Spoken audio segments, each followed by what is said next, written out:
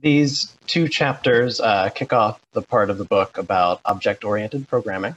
Um, starts off with a quick discussion of base types, off of which um, object-oriented systems are based, uh, and then goes into the S3 object-oriented system, R's oldest OO system. Um, this is all sort of new stuff to me, so I tried to hit the highlights and, um, you know, I think they're there for the most part, but if anybody wants to jump in with any clarifications or questions, uh, please feel free to do so. Um, quick introduction to object-oriented programming. We've heard all along that everything in R is an object, and I didn't realize this, but that doesn't mean everything is object-oriented. So we'll try to wrap our heads around what, um, what it means for something to be object-oriented. These are the three main object-oriented programming systems in R, S3, S4, and R6. We'll be talking about S3 today. Uh, there are others, but um, Hadley thinks they're more obscure and that these are the most important ones. Um, OOP systems display polymorphism, which means that uh, a function's interface is separated from its implementation, and uh, this allows the interface to be extended with implementations for new types of input. Um, and in an OOP system, uh, objects have class. That's um, that's a special attribute um, added on to added on to any object, um, and then those classes uh, have an associated method. That's the uh, the implementation of a of a function um, specifically for that class. Um, method dispatch is the process of finding the correct method given a class. Um, chapter 12 was real quick. It's about base types um, and comes with this useful diagram. Um, basically, since everything is an object, but not everything is an OO object, uh, we can differentiate between base objects and OO objects. Uh, the difference being um, every object has a base type but OO objects have at least a class attribute. Um, chapter 12 then goes on to list the 25 different base types available in R, um, but I won't rattle those off for you here. Um, moving right along to S3. Uh, S3 is uh, R's oldest object-oriented programming system, and apparently I I don't quite understand this, but um, you know, it's very minimal and very flexible, uh, meaning you can't take away any part of S3 and still have a useful OO system. Um, and also S3 has few built-in constraints, and you have to uh, so you have to apply those yourself. We'll see um, possible ways you can shoot yourself in the foot with this flexibility, and ways to uh, to enforce uh, object-oriented or your your uh, what your expectations for the object-oriented system. So object-oriented objects all have a class, but S3 has no formal definition of a class. Instead, you uh, you set its class attribute, and then you give it this um, this array of functions that uh, that will help um, you know ensure that there's some structure to your to your objects. Uh, these functions include a low-level constructor. That's the one that declares the uh, the class attribute. Uh, a validator that will um, that will check to make sure you're giving uh, the correct inputs uh, to your to your class object and a um, and a user-friendly outward-facing helper that has plenty of um, you know, helpful warnings and error messages, uh, and more strictly enforces um, the uh, the structure of your of your classes. Here's a simple example of a constructor. All it does is it uh, turns your object into a date. So what does it what does it do exactly? Um, basically, it's a function that defaults to a, a null uh, vector of type double. Um, tells you not to go through with it if it is not double, and then assigns class date to your object. So here we see it works, new date, uh, negative one, zero, one gives the dates associated with those integers. Um, ah, here's, a, here's another example of a constructor that's a bit more involved.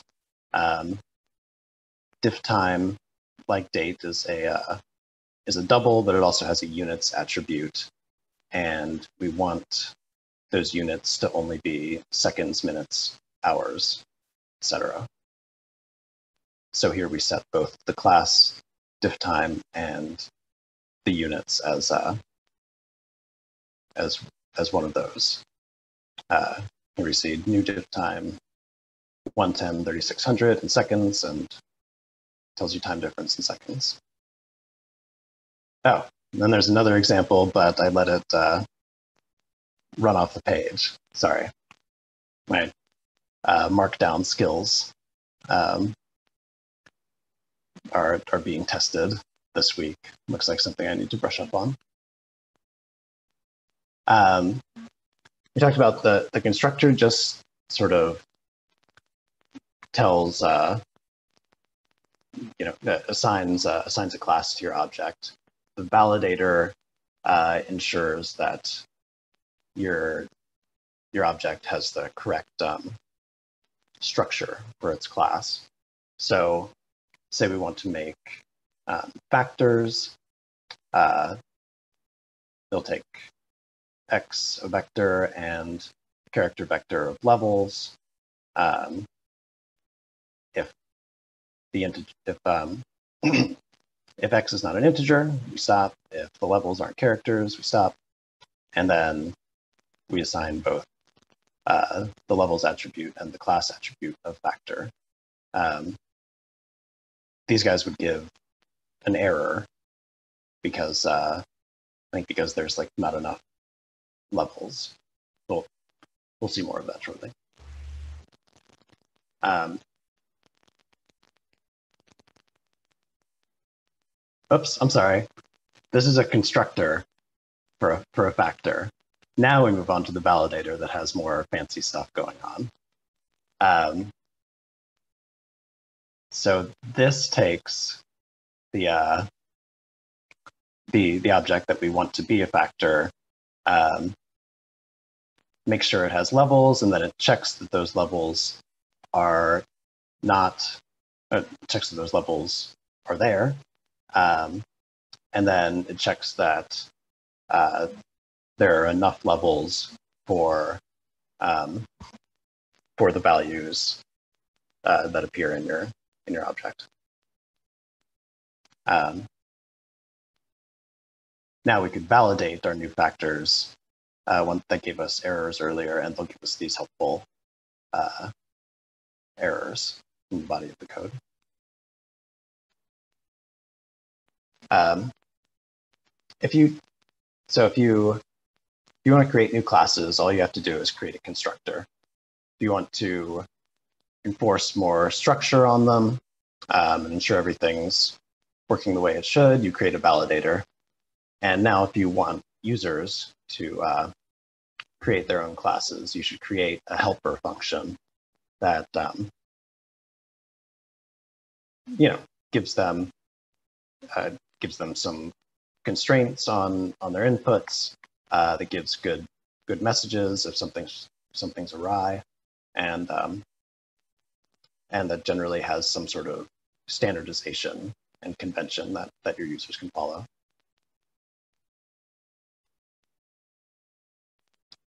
So let's see. This is a constructor um, for for difftime. I think we already saw this. Yep. Great. We do difftime 1 through 10, it gives us difference in seconds, which is the uh, default units. And then factor, um, ah, this, ah, this is a helper function that has both the validator and the constructor in it. Um, so that your users can just call factor and it uh, and, and it um, does does all this stuff automatically after after checking um, that your X has has levels and um, you know all, all the good stuff that needs to be a factor. Chris, I just have a question. Uh, yeah. We go back to that last slide. Of course. What are the what are these uh, outer functions called? Like I know you said there's uh, you have the validate it validators the constructor. What is the outer function called? Like the you know, the, the first one, or just yeah, like like the general name for the function that contains the validator and the constructor. This is the helper function. Oh, the helper. Okay, okay, got it. Yeah.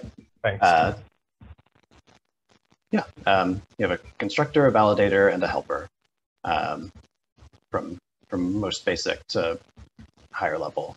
And uh, so this is the helper containing the validator and the constructor. Thank you. No problem. Thanks for the question.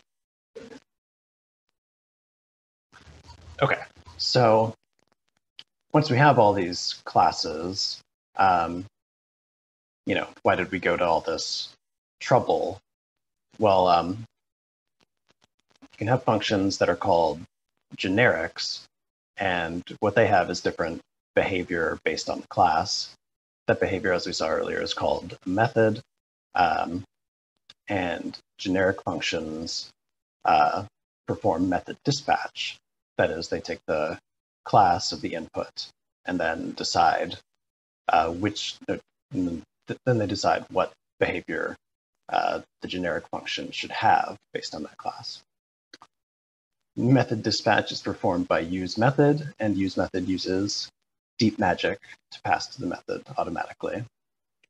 Um, so here's where I start to lose the thread. Uh, I'll I'll forge ahead here, but um, I kind of thought, okay, I get generics and methods and all the other stuff, and then kind of lost me on UseMethod. So let's see, did I just... Yep, I just went ahead and glossed over that. So sorry, if there's, if anyone wants to get deeper into UseMethod, I'm, um, I welcome it, but uh, I'm not sure I'll be a helpful uh, authority on that, on that subject. Um, objects have different styles. We've seen the vector style uh, object classes like date and factor.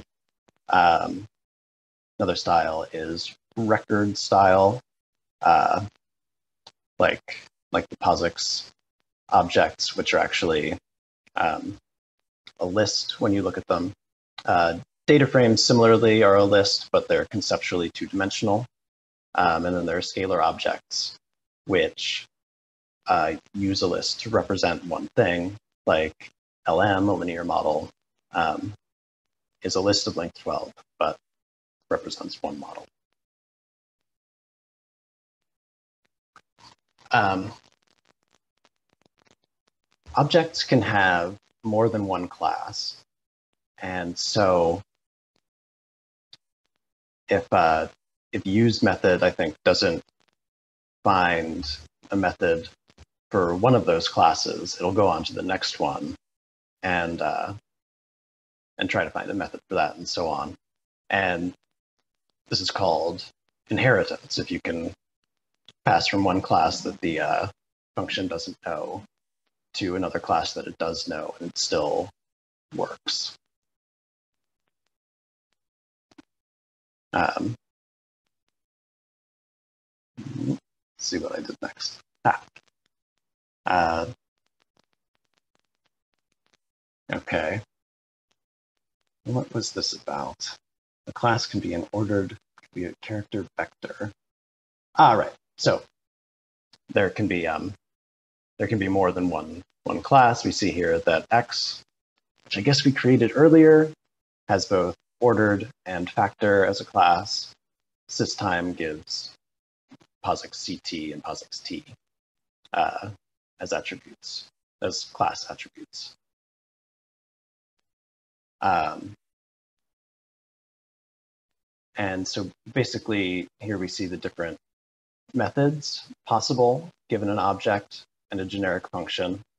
And what happens here with our x, which was ordered and a factor, um, when we pass it to print and look closely at it with this S3 dispatch function, we see that it skips print.ordered and chooses print.factor uh, for the method. Um, for Sys.time, similarly, it has some methods available, but it chooses POSIXct, the first one, because it has a method available for that, for that class.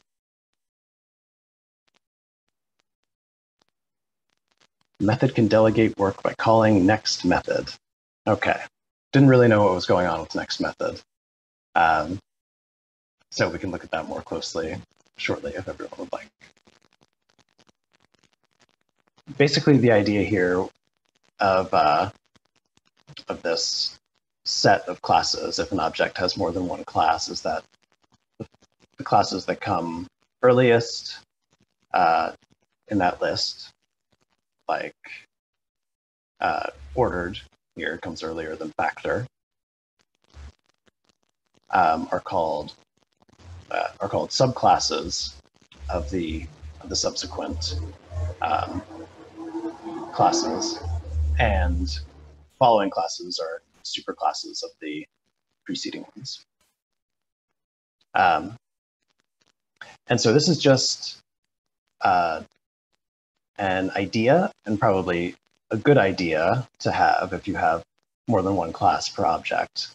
But just so you know, um, you don't necessarily have to have to order uh, your class attributes in any particular way. Ah, now we get to NextMethod, and I've um, done all the work for you here. Uh, it's the hardest part of inheritance to understand, and I suppose I found that hard to understand. Sorry. And that concludes my presentation. I know I left some stuff out at the end. I uh, had some um, difficulty understanding it. So I, let, us see what we get get to in the in the discussion.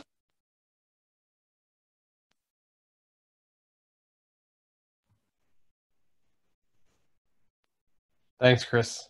I thought you did a really good job going through the content. Um, Thank you. My pleasure. Uh, yeah, and I, I think it would be awesome to have a discussion. Um, I guess the, uh, the first thing that came to mind when you're talking about um, the method dis- dispatch stuff is um, I feel like uh, when I work with date dates and date times a lot, um, like I'll do things where uh, like I'll convert, I'll like put them in a list or something, or I, I forget exactly what. But then uh, when I go to do something later to them in the data frame, they're numeric all of a sudden, you know, and like, oh. um, and I always like kind of get confused because I'm like, in what step did this become numeric? And like, I have to convert it back. And I feel like there are certain, yeah, like certain method dispatches for different functions, or if that even makes sense. Uh, you know what I mean? Like, like, uh, you know, and I feel like that that always confuses me.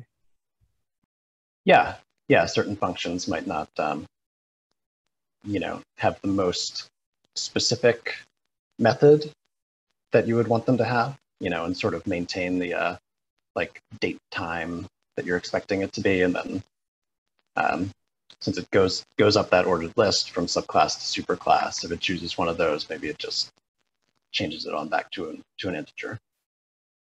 Mm-hmm.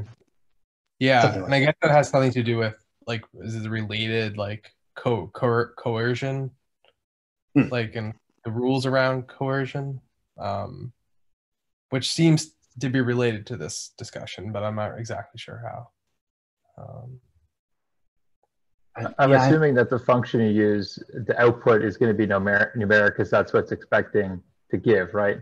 Like if you, so it doesn't even know that it is a date time. It's just im- implying it's a date time, right? And and that's Um, because um, the base type of a date time is integer double, I think. Or maybe Yeah. a date time is like a list with integers and doubles, but then it Right. can be. Yeah. Um, so maybe so like the the function probably coer- coerces it or or pulls the numeric uh, attribute from that datetime object, right? Yeah, it probably converts it to whatever it needs it to be and then does it. Mhm. So I think if you are running into this problem to debug it, you might use that S3 dispatch um, function and try that on different parts of your code to see what actually is happening. Because if it's not using the um, date time, right, then it instead it's using um, numeric as the version, then that would be telling you that it's actually not using the method that you'd like. So maybe that function doesn't actually have a method for what you're trying to do. Mm-hmm. That makes sense. Yeah.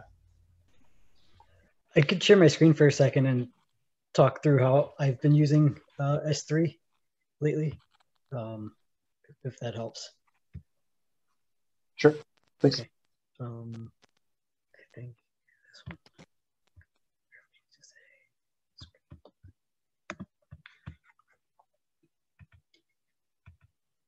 All right, so I've been working on this package called Headliner, and it uh, it uses Glue to like create what I'm calling headlines. So these could be like titles of plots or sections of R Markdowns. Um, there's a lot of cool functionality here, but it essentially just compares two two values and then kind of creates all of these uh, all of these like components about that difference. So like what's the percentage difference? What's the all of that's happening in this compare values function. But like what's the percentage difference? Is it increase or decrease? Like it just kind of creates all these like talking points and then you string them together um, to something like this, like the trend of delta, and then it like puts there's like a little original values thing, and it like rate that for you. Um, but uh, it works different. Like I want to be able to pass it um, like where I just say like compare 20 to 25. It's like compare uh, compare 20 to 25. But sometimes I want to like pass a list. So some of the functions in the headliner uh, allow you to compare objects, but what it spits out is a list. And so when the list happens, the logic's a little different. So like to find my compare and reference objects is little, is like kind of a couple of different steps. So I think that the way that the UseMethod works is it says, all right, headline is this thing that I'm going to use.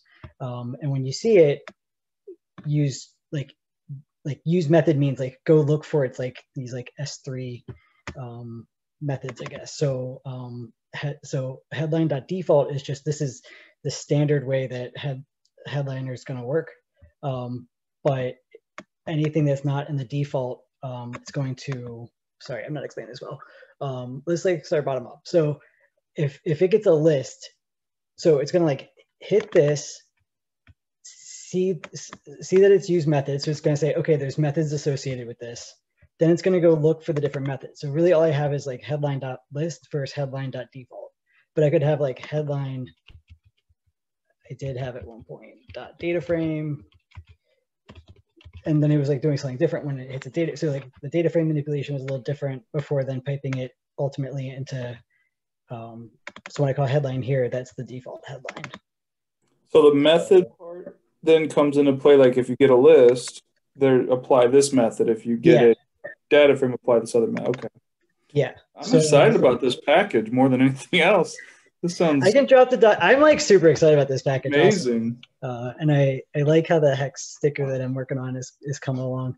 Um, but I think I think it's gonna be a big game changer for a lot of data analysts. So I'm I'm pretty Heck excited. yeah. About it. Um, The the hex sticker is the important part, right? Uh, yeah, exactly. Of course, especially in this time of uh, the coronavirus where we're all um, in our homes. But uh, okay, so so I call headline. Headline calls UseMethod that says go look for the methods depend like based on the class of the object. It sees that I have a list. It goes down here, does some of this work, then it passes it on to the default like whatever my headline default is. So then it like passes it up there, and then that's actually the result that I will get. And then I think what NextMethod is doing is if you have like a subclass. Um, so so if I had, I think if I had headline dot, I'm not sure I like fully got it, but I think if I had headline dot, uh, what was it ordered? Like it would do some stuff, and then in it I could call next method if something needed to happen, and then it would call headline dot factor. Is what I think it will do. I, I, that's kind of what I was maybe putting together, but I'm, I'm not quite sure. So is Um, that like conceptually setting up the hierarchy where it will look for different order, different levels of a class if it doesn't I, find? I think so. Okay. Yeah. So so I, so yeah, I might have a headline factor class that has a certain manipulation, but like to get there, I might need, um, if it's ordered, I might need to like unorder it or put it in a different order or who knows what. And so like I might do that and then and then I think I call NextMethod to then pass it to factor and then factor will do what it needs and then that will then call headline like that will call headline to just um, call the default method. And then so what happens in the documentation, uh, headliner. So when I when I like namespace it, all that comes back as headline. Um, and if I to recall like, but if I did like a third, you could see that there's like more methods in there. Oh. There's a, a data frame, a default, and a list. So it's also I don't know. I've like seen this before with like um like sequence. I'll see se- like all these different sequence options. So those are like So that's what's happening. Yeah, you look at a function and it'll say UseMethod in the body. And I'm like, oh, that's not informative. So that's what. Oh, fun. I learned I learned how to do that. Um, so yeah, you you do that, and then I think uh, uh, methods list.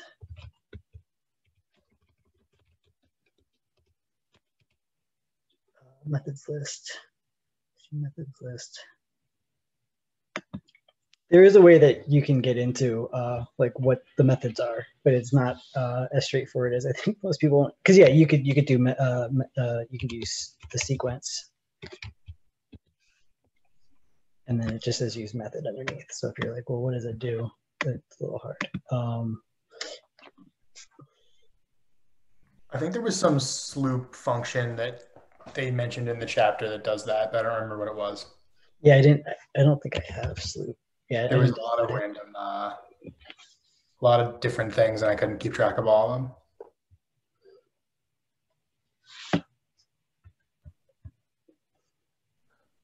So Jake, the the dots Oh. pack like headline dot list.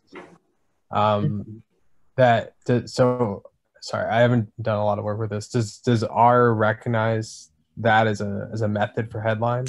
Yeah. Okay.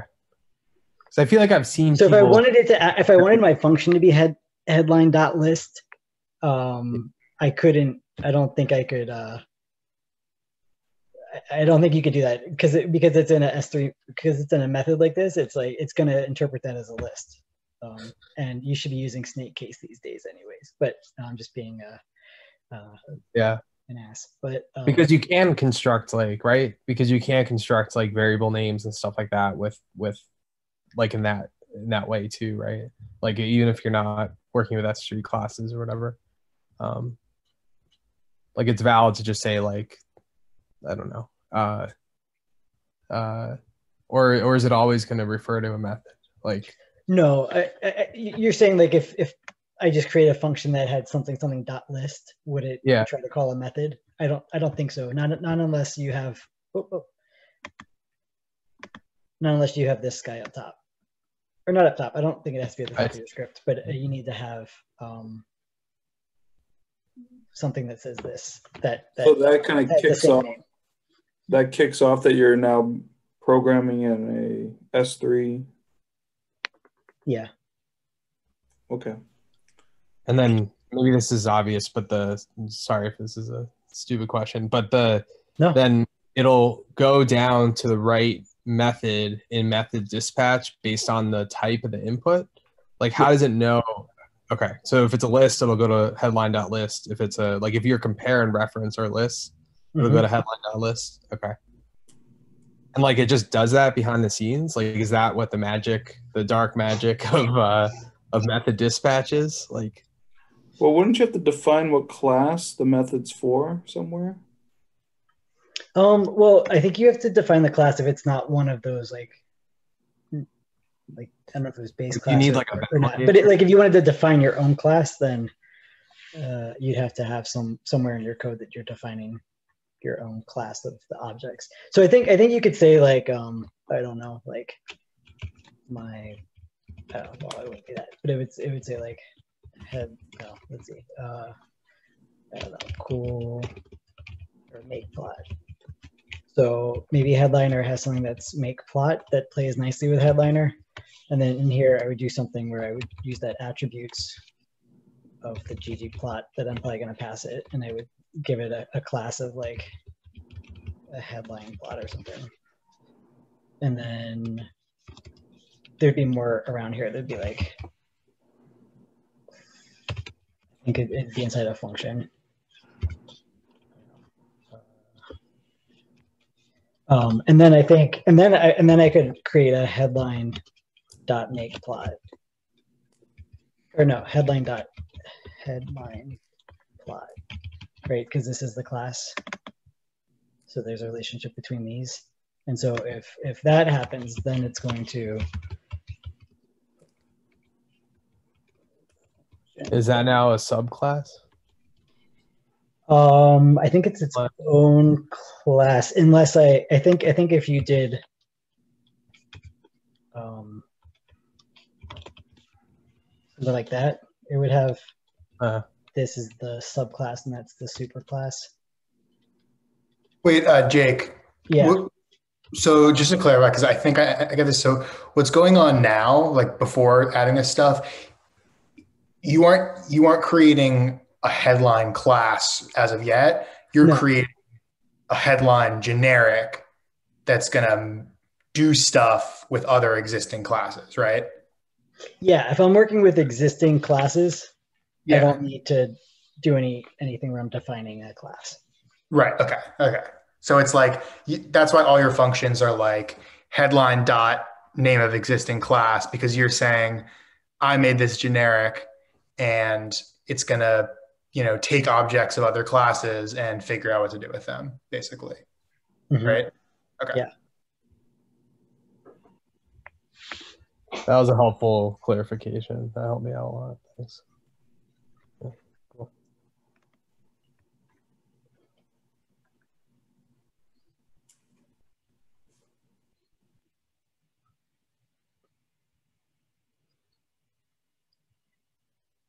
What, what other questions came up?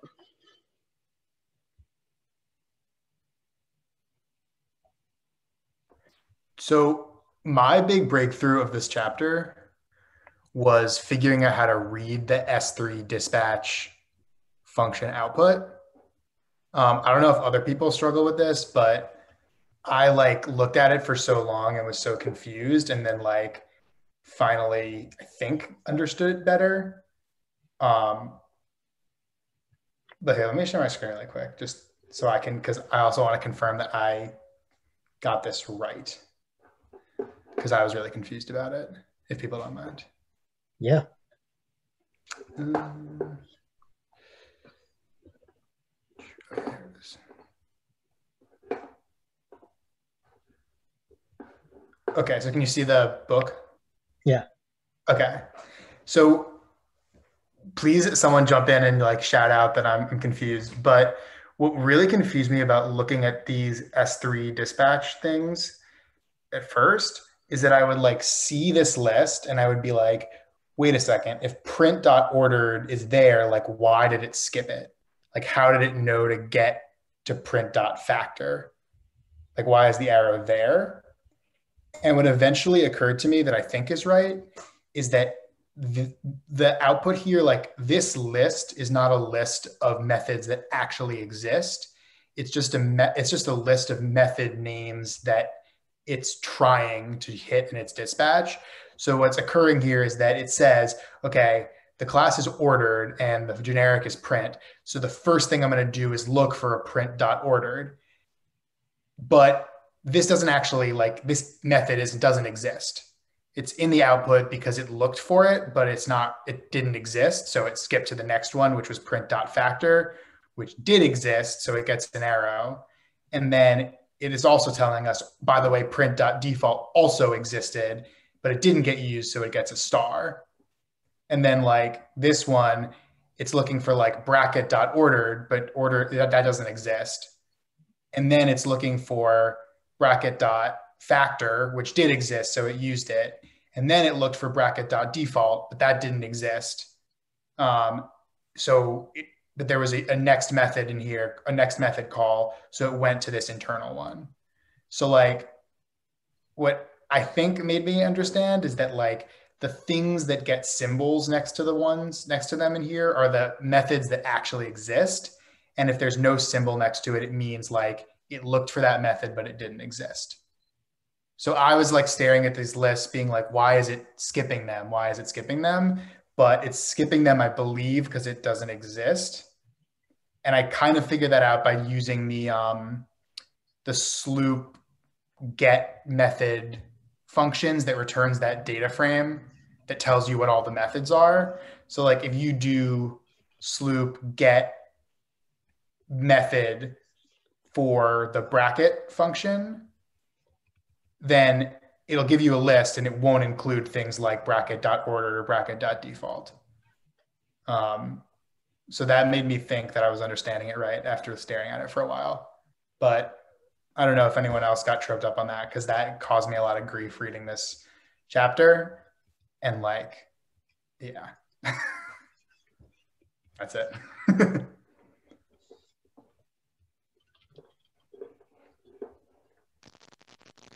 No, that's great. That, that was my my understanding that it um, because your attributes for X are ordered and factor, it it tries print dot ordered. Um, that doesn't find it, it goes to print dot factor, which it does find. So it gets the arrow.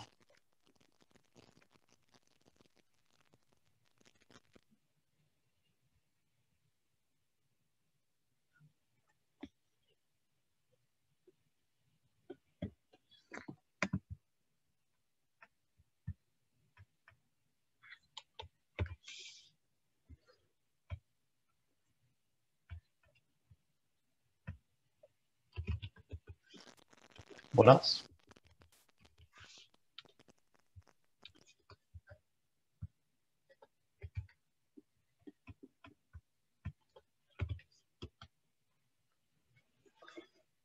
What I really don't get is the stuff coming up, like the, the R6 and those kind of things. Um, that might be Well- tricky. The, the chapter says S3 should be like a good go-to, so we might get away with not understanding the next few chapters, but uh, I bet they'll be interesting.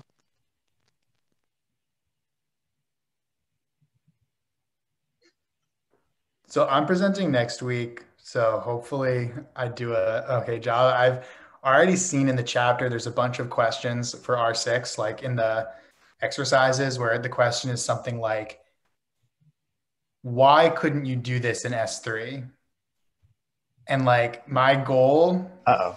is to be able to answer one of those for us. But if you see those and like think of this week and like think of an answer, then like stash it away and we'll if I don't get it, we'll at least have like hit one as a group because those seem like pretty daunting. But I feel like if we can answer one of those, we'll definitely have understood something legit. So that's what I'm I'm putting up as my goal is to try to try to get one of those without looking up the answer. Where is it? Sorry, at the beginning of the chapter. It's like they're like they're like peppered throughout the exercises. Like if you look through the R6 chapter, um, there's like different exercise questions that are like, here's an example. Why couldn't Uh, why yeah. couldn't you do that? like why can you do this in, in R6 but it wouldn't work for S3? Yeah, I'm just Um, looking at why can't you model a bank account or deck of cards with an S3 class? Yeah, those those questions, and I'm like, great question. I wish I could answer that for you, but hopefully I'll be able to next week, and maybe if I can't, one of you will be able to.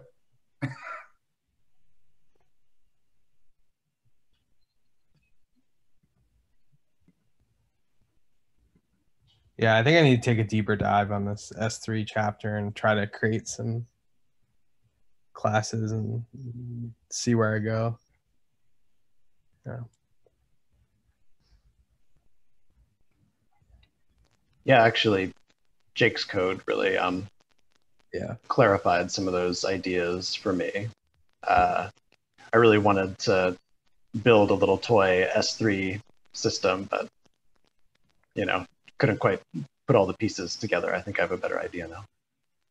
I mean, that's like six hours on a Saturday afternoon. Like, I, it took me forever to figure out what the heck it was, and then to get it to like print out the nice documentation. I, I like did something wrong, and it like wasn't it wasn't printing out correctly when I was trying to do like the pkgdown to to render the the site with all the documentation. So yeah, definitely definitely a lot of confusion on that one, but it's starting to come together for me.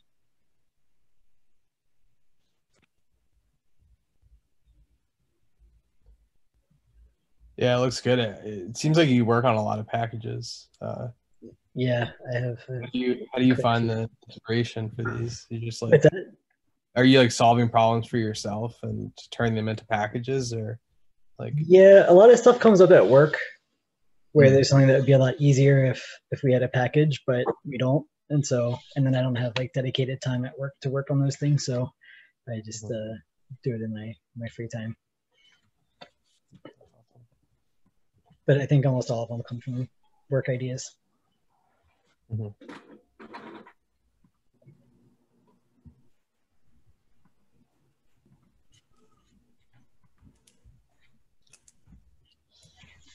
I'll take the chapter on expressions. Um, oh yeah okay so is that the, the one after next week No, I think it's a couple a couple away. It's just oh one that uh, right so next week is uh r6 Ezra, right? yeah Yeah, and then there's like S4 after that, and then there's a chapter called trade-offs, which good luck to you if you are going to do trade-offs. But I don't know how long it is. is uh all right well is anyone interested in taking s4 the chapter I'm after? about due. I haven't presented in a while. I'll do S4. okay Did we lose? thank you. We lost. Uh, what was her name? abby Abby. I haven't seen her in a while yeah She was here when me, her, and someone else logged in accidentally in that week we skipped. Um, uh so she was there like two weeks ago when we when no one else was here for like the five minutes till we realized that we were skipping the session. So she's You you know, guys like, showed up. Yes. just has so she showed up to the one that we d- didn't get to, and you know, Uh. so she's lurking somewhere. but probably not, so. Next, uh, all right, we'll make Eric, you- Which will come back. Eric, you might be able to do uh, trade-offs too, because it's actually like very short. When I look at it, So S4 and trade-offs. Yeah, it's like three sections. Yeah. yeah, and I mean we could do that more of as a discussion anyway. Um, you know, I don't think that that's going to be that more than informative differences, right? Mhm. Awesome. And while we're at it, does anyone want to do the big picture chapter uh, of metaprogramming right before expressions? We could also talk about that next week. Uh, I'll check my schedule, but I think I could do it if. Um, Okay. I'll have to make sure I'm, I'm traveling to Canada. I just got to make sure it's not the week I'm doing that. Okay. Wow, that's already into December. Wow, December 3rd. It's flying by. All right. Cool. All right. Well, maybe we'll just check in on that next week. Um, I feel like one of my goals is gonna like to be to try to create some S3 code, like like classes, and then put it into the chat and see if it makes sense. Uh, like try to, like Chris, you were saying, like uh, do a toy example or something. Like over the weekend. So try to do that. One of my goals is to uh, use Headliner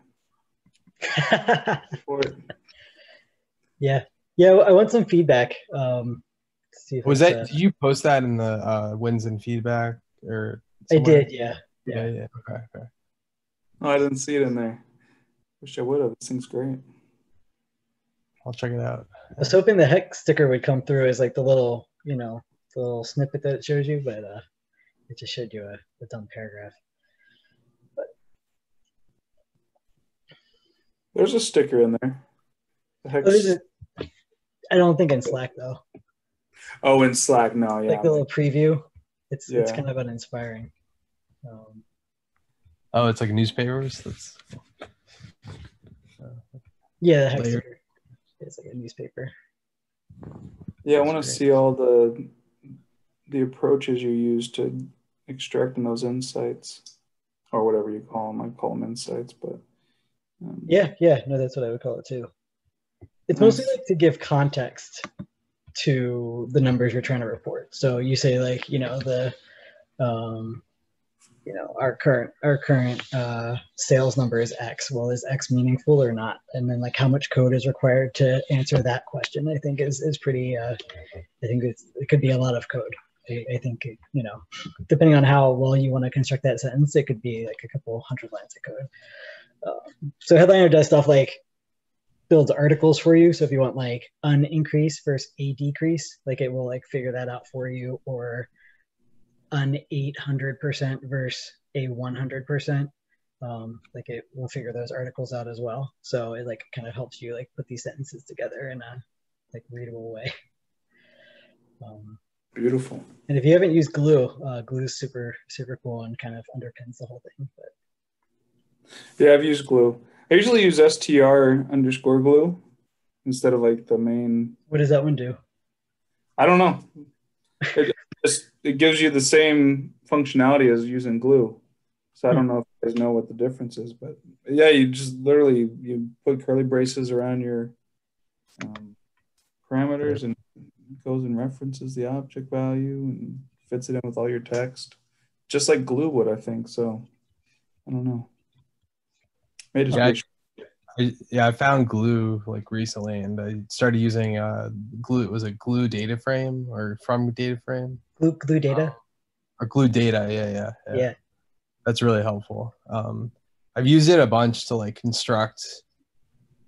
Well, actually, I don't think you're supposed to do this because of SQL injections, but construct like parameterized SQL, like so instead of like writing out like there's a bunch of the same variable, but like that has like a different number at the end of it or something in a table, uh, like constructing a query that way. Um, but I think Glue- Glue actually has a SQL. SQL method. Yeah, yeah, yeah. Yeah.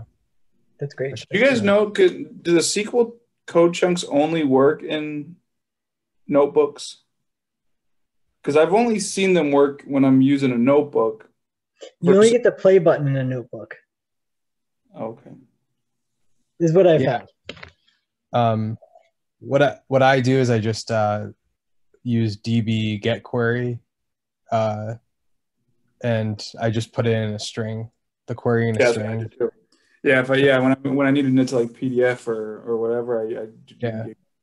But It's sometimes kind I'm playing around with the SQL code in the code chunk, but I've only seen it work in notebooks. I didn't know if that was me or if it was the notebook. Yeah, I think I think that's true. Like I found it really annoying that like people who like didn't use R, uh, if I wanted to share that SQL query with them, there's all those like quotes around the variable names that you have to do. Hmm. Um, and like it was like really kind of annoying to to like you could just find and replace, but it's just like I don't know. It's it's uh it's not the same style as like if you were to use like Microsoft Server SQL or SQL or whatever like the program is that people use to outside of R and Python. Um, I don't know. It was I just found that kind of frustrating, but At work, we've, um, I think for the most part, started to like separate the SQL functionality from the the dashboard functionality that we're building. So um, we well usually we make like a, a data mart that we just like select star from so it's like almost no code at all. Um, but if you have like a proof of concept that requires a significant sql query uh, we'll just like make a sql file in the same folder and then just uh, like use read lines or read file or something to bring that in and then like have get get db query uh, read that rather than putting all the code in the uh, putting all the code in the in the R document. Because yeah, like if you need to make some changes, like it's not going to give you any errors about your, you know, like you spelled from or wrong or something. Like it won't give you any feedback around like mistakes in your SQL code. So Mhm. it's like nice to like write the SQL code in another program and then just read lines. So very. Interesting.